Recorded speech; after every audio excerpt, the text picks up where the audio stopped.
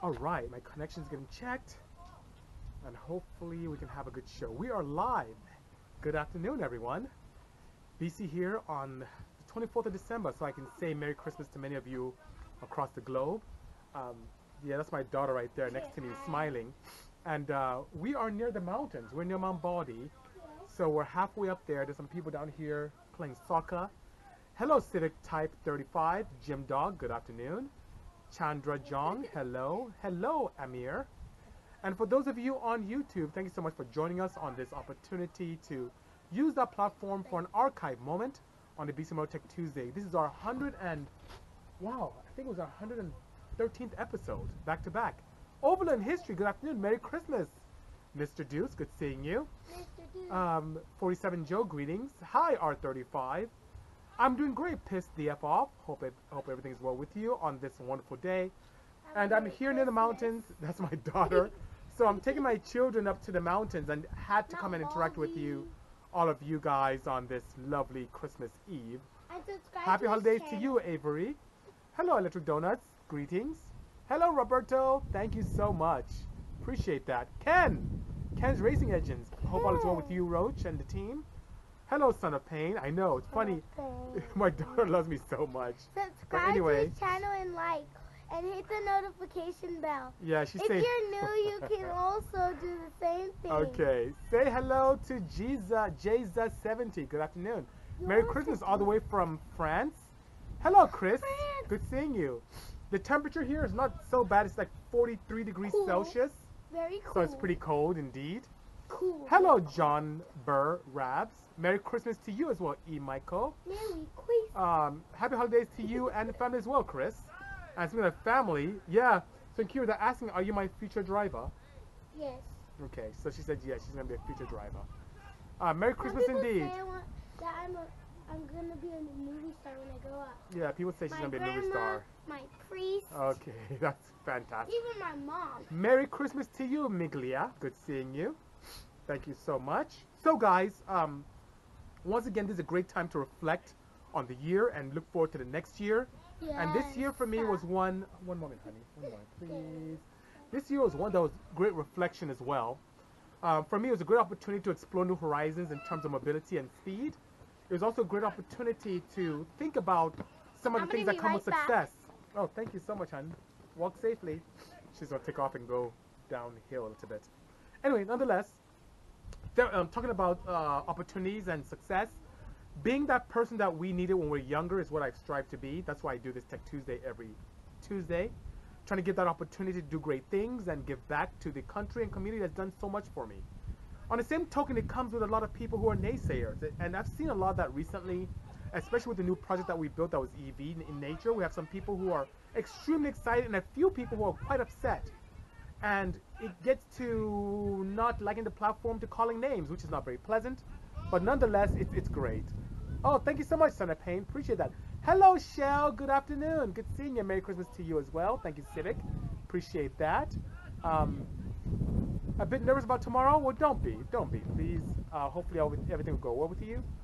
Patty Rock says, Love my work. Thank you so much. Merry Christmas as well. GT Powders. Greetings. Jomiller, Jomarel, Jomarelier, hello as well. I do like Super Mark 4. Um, hello, Bintez. Welcome to the Internet Hate Machine. It's okay, Marky Mark, I'm used to it.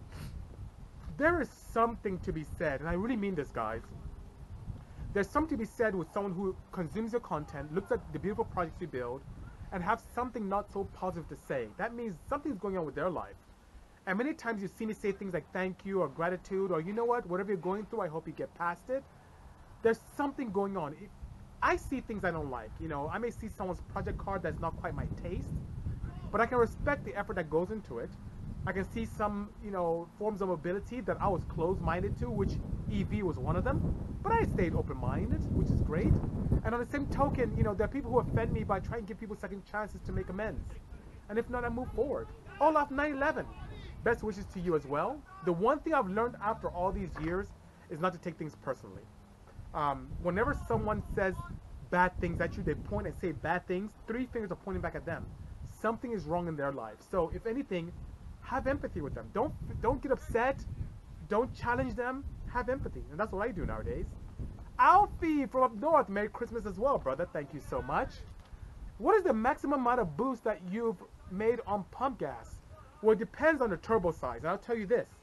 So on a larger 72 millimeter turbo, the most I've done on pure pump gas 91 has been close to maybe 13 psi. I'm being very honest with you.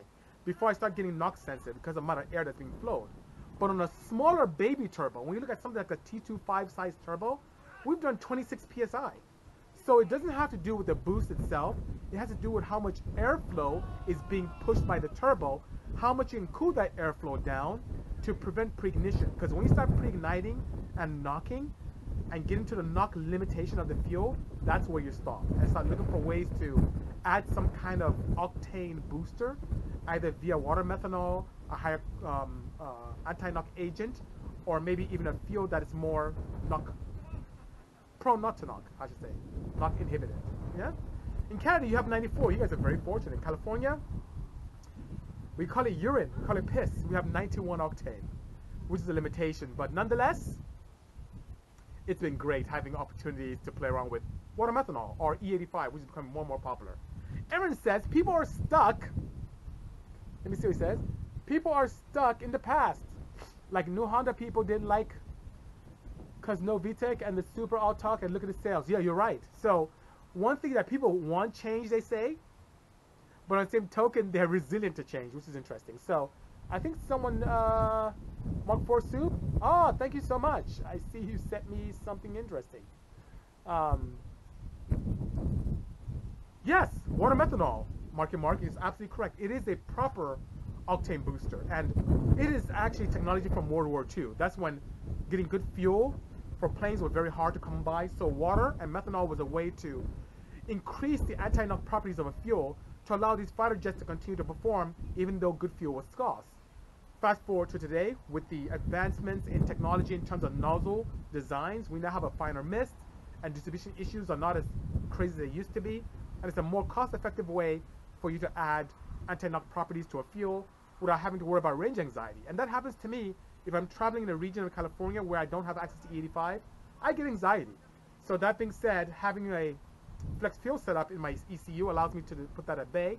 But when that's not available, definitely like my blue Porsche, like this one right here that I'm wearing, that one has two 500cc nozzles using water methanol and 91 octane, and, and I make 850 horsepower all day. My 2017 VTEC has it. well, you know what? You may find interesting, T-Mac. On the Earth Rings projects, especially with the Odysseys, Honda's done something very interesting. They now use VTEC to deactivate cylinders. Yes, not as a power adder, but a way to initiate deactivating cylinders to increase efficiency and reduce gas consumption. Something to think about. Are you ever going to do an S2000 build like your wagon? It totally depends on American Honda. So what a lot of people don't know is that American Honda is a big partner for us. Um, they are one of the entities that spearheads our crazy Honda project. So they were a big supporter of the wagon both the first version of D16 and also the new Wagovan. We even got legal involved in that build. And the Odyssey, of course, was a commission from Honda. The CRZ, commission from Honda. The HRV, commission from, from Honda. The Accord that we built with nitrous, commission from Honda. Um, even my Insight had a lot of support from American Honda, our drag race car. And even fast forward to some of the new projects where we built two fits. You know, GK fits, that was from Honda as well. So if we end up building something with an S2000, it'll have to be something where Honda was actually involved and want us to do something really old school to mix it up, you know? What kind of water mix do you prefer? Is it dependent on your base fuel octane? You could get away with really something really nasty like an 87 and add a water methanol. But the mix I use, I tend to use 50% by volume, 50-50 of deionized water and laboratory grade methanol, which is very cost effective. You can get it for like three, four gallons. I mean, three, four dollars a gallon. Very cost effective. Happy holidays to you. I am Code TFT. I'm near Mount Baldy. It's freezing here. Have my diesel jacket and scarf and my KW beanie. And I'm taking the family out for the holidays to the mountains where we expect to see some snow. That's the great thing about Southern California we have everything. I mean, where I reside, I reside in like what is known as the I would say the San Gabriel Valley. I'm an hour from the beach, an hour from the desert, an hour from the snow. It's pretty convenient. Help me with the Seahawks build, daily driven FG4. That's what we do. So we help enthusiasts like yourself do wonderful things. So that being said, kindly write to us at sales at bcmo.com and we see what we can do to help you out. Why is the US octane rating lower in the UK? For example, VPower 99 in the UK is common. Well, that may be a bit, bit of a misunderstanding, my good friend, Abarth 500C. Because in the United States, we tend to, how should I say, designate our octane ratings differently from you do in the UK. So in the UK, what I notice when I go out there is that they have fuels that are designated by what is known as research numbers. Okay? And with research number, that's where if you're in a controlled environment and you have ideal temperatures and pressures in that environment and an engine in a controlled environment, you try and induce knock into that engine in a lab. And whatever that knock value property is, that's what you assign the fuel. Here in the US, we do what is called R plus M divided by 2, and that's an average of research and motor octane. And not only do you have the capability of doing the same research information that you would do in a fuel in a controlled lab, you also go and do field testing with a motor and try and induce knock as well. Whatever octane rating is assigned to your motor in the field and motor in the lab, you add those and divide by 2 and get an average. So 91 octane may not really be 91 research. It could be 99 and 80. 80 in the field, 99 in the lab. But in the UK, since they look at research numbers alone, that's the designation. Doesn't mean it's a better fuel, it's just a different way of rating it. Hope that makes sense. Um, where am I? Says Urparse. I am uh, halfway up Mount Baldy. So today I didn't go to work. I gave the team time off. And I decided to spend time with my children and take them up to the mountains, which is pretty cool, right? So that being said, that's what I'm doing, spending time with the family and making sure the kids can experience some snow, which I see a little bit up top on the mountains over there, you know? Thanks for being a badass, says Engineer Diecast. Keep doing your thing. Merry Christmas. Thank you for the kind words. Merry Christmas to you as well. Frank from Downstar. So for those of you who don't know Frank, great enthusiast, been in the industry for a while. I did a Tech Tuesday at his facility last week. Take a look at it. It's archived on YouTube. He also has his own Downstar channel where he does great podcasts, both visual and also via voice only, with many different business people, influential people, and really interesting community individuals. So he is the reason why I have Tech Tuesday. He introduced me to the entire platform, and recently just introduced me to TikTok. So Frank, thanks so much. I joined TikTok yesterday, did my first couple of posts, got 70 followers already, which is great. And if you guys are not seeing TikTok, by all means go there. It's pretty cool. And he says that my podcast drops on Thursday, so we look forward to that, you know? What car did I take up to the mountains? Says Mark 4 Soup. Great question. Now here's the thing. I have a variety of cars in my arsenal at the office. I have the Viper. I have the minivan. I have Porsches, Mercedes-Benzes, uh, Cayennes, um, Caymans, quite a few vehicles there. But you know what I chose to drive today to the mountains? A front-wheel drive Hyundai Ioniq. So it's an economical vehicle, a hybrid, um, gets about 50 miles per gallon in the trim that I have it in right now. And I chose it because in slippery conditions, believe it or not, front-wheel drives reign supreme. If I took one of my rear-wheel drive applications, I'll slip and slide everywhere if I took my wagon, I don't have a heater in it, so that wouldn't work. So it is the most comfortable, most slippery,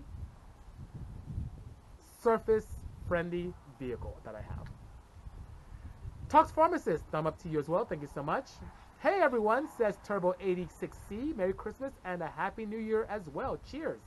That's awesome, says Uy Parse. Enjoy it with your family. Thank you so much. And you know what? That is a perfect segue. I will excuse myself and go and enjoy my afternoon with the family, but I will be back once again. We'll post this up on YouTube in a day or so. We'll be back in the office on Thursday. I'll come on Christmas and say hi to all of you guys. And then you know what? I'm to go head up the mountains right now. You can listen to our interaction, especially on the fields and everything we discussed, on all the different podcasts that we have access to. Anchor, Radio Public, Spotify. Just search for Bisimoto and it comes up and you can listen to us indeed. Thanks everyone. Have a great one. See you soon. And join me on TikTok. Take care. Cheers. Hey, Africa. See you soon. Bye bye.